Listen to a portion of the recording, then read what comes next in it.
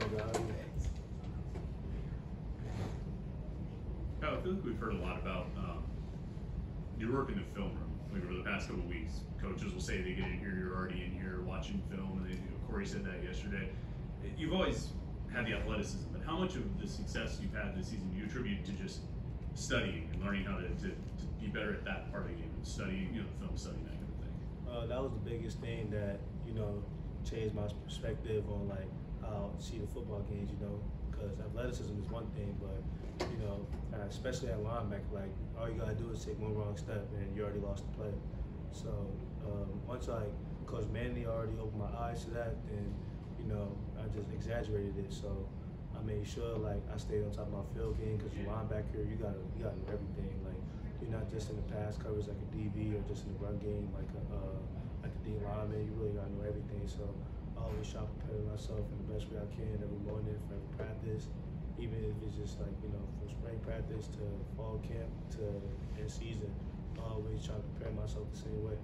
Kyle, is there a play that you made this year that immediately you thought that's because of that extra work I did?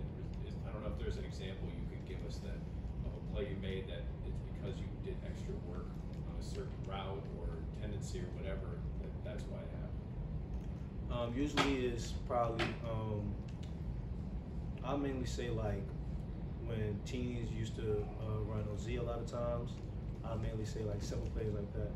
Uh, when I really uh, pay close attention to the simple plays, you know, because you do the simple plays at your, you know, the best, and you're gonna be the best at it. So, you know, a lot of teams, especially off of last year, a lot of teams get a lot of the stretch plays on us. So, you know, watching film, I was just keying a lot of stretch formations a lot of tendencies. A lot of times when the tight end will be wider than usual, and then like it'll give me like a you know a step or like I can help the DN tell them to line up wider. You know, so that helped like the whole flow of the chain of the defense. So I definitely could say stretch plays.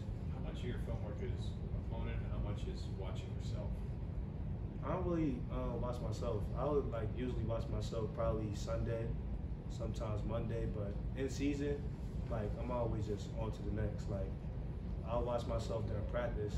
I'll watch some practice film after practice, and then I'm already like going back to uh, the TV copy film, you know, the breakdown film, trying to watch the trick plays, trying to watch the plays they run on third down. I'm always just on to what they, you know, do because I already know like how I move. I already know how my body works, so I'm always like mainly just focused on watching the opponent.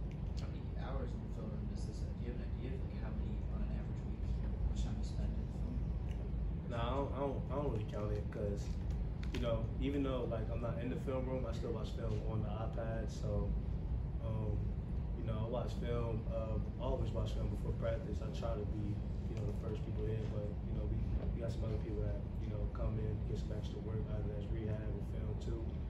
And then uh, after practice, you know, I'll probably like sneak like a couple minutes, couple couple hours of film during class.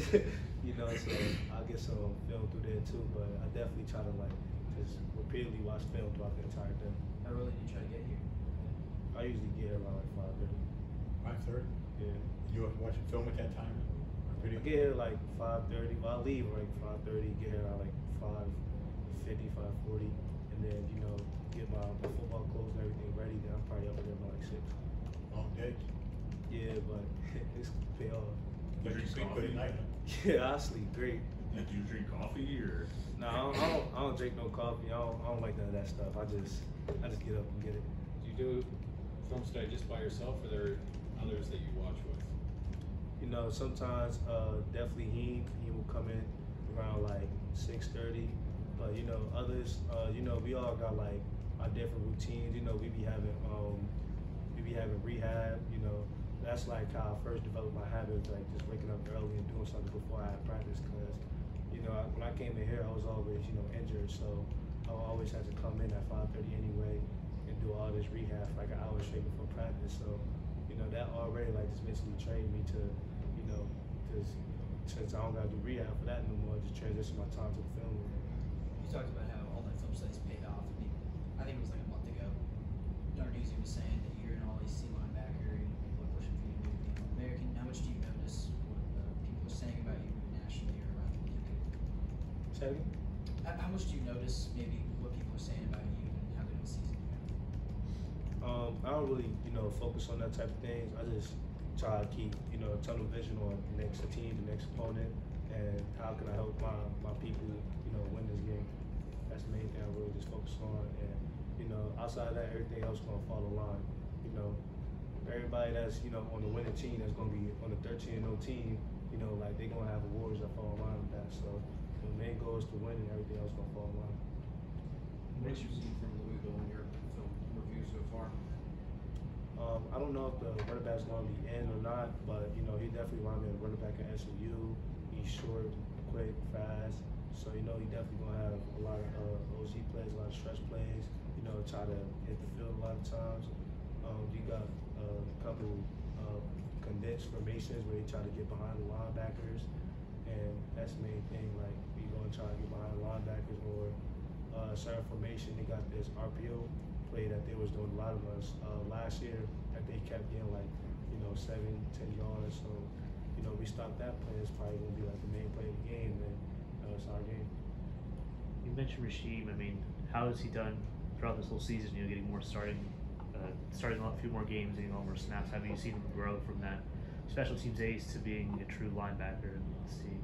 You know I'm proud. I'm proud of him, bro, because you know like I always call him like you know my twin shark, you know, because we we always you know been sharks, and I really see like myself in him. I bet he could say the same, you know, because like we don't make no excuses for ourselves. Like whether like it's gonna be hard to like you know go up in the ranks and either uh, trying to become a starter or like you know like in terms of ACC or just national. You know we never make no excuses. Like no matter how your body feeling or anything, like you're gonna put work in. You know there was a lot of times throughout the off season, me and him, it'll just be us two. Like we'll just be working on you know our pass rush, like just doing the same move over and over again, like hundreds of times. You know, so it's like to see like all that like paying off like in front of my eyes, in front of his eyes, like you know that's like just a byproduct of the work we do. So we never gonna forget that. We're just gonna keep putting in work this whole season. Kyle, where does the, the drive to, I mean, get up so early and stay up so late, doing all this work, um, I mean, what kind of motivates you to, to do all this work and all this football? you know, like some days I'm feel motivated, other days I ain't gonna feel motivated. Like no matter how I feel, like I definitely just, you know, just condition myself. Like you gotta go, you gotta go, because else gonna go for you? You know, like same way for on the field. Like you gotta go make this play. Don't wait for the next man. You gotta go make it. They count on you. You know, even before like people knew my name. You know, just the same way. Like you gotta be the person. You gotta be that person. Because if you waiting for the next man, the next man probably waiting for the next man. So who gonna do it? Cal, how is this team dealing with adversity and what's gonna back over the, get you guys back over the hump? We've been dealing with adversity since um, since summer, since they pulled out the things that we was gonna be like the top three worst ACC team or whatever, you know. So we always been dealing with adversity every week this season. So you know, we're not letting that affect us. Uh, it seems like we're having a little toe with this three loss streak, but we're keeping the same demeanor uh, throughout practice every week. And you know, we probably was uh, slacking during the week we played SMU, uh, especially I could speak on our defensive side, you know, with the missed tackles and that showed in the game. But we never changed our demeanor for any week. So we obviously gonna keep going harder because this is our third loss now. We can't have more, but you know, we're gonna we're gonna keep balling definitely for people that's their last season here and the people that's trying to step up. Gonna keep making plays, keep balling. Anything final? Kyle, after that Clemson game, you said, you know, you guys are losing, losing, losing, you gotta turn it around. Just how hungry are you guys to turn it around? We starving. This is like uh, I could probably speak on every player here. Like this is embarrassing. Like no matter if you're not an ACC championship uh, contenders anymore or anything outside of that, like it's still you playing for the you know the name on your chest. So you know, we got so much people that, that are looking out for us, especially when we was on that 7-0 run. We had, you know, national attention. So, you know, we just we gotta stop now. We can't go 7-0 to 7-5. You know, so we we starving to you know stop this hump right now, get over it, and then you know just win out the rest of the season.